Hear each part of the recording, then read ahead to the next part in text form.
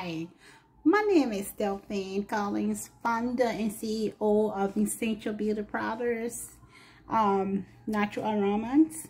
So, I am here to tell you about the powder clay, the Dead Sea powder clay. This, um, I have been, I have bought, um, and I've been using for maybe over, about, over six months I don't need to use it every day. When I use it, it's very gentle with my skin. It comes in a plastic bag. Um, I have it here. So I put it on a plate, pour light water, um, and apply it to my skin. Leave it there for some minutes and I come a perfect skin tone it has refreshed my skin and has renewed my skin.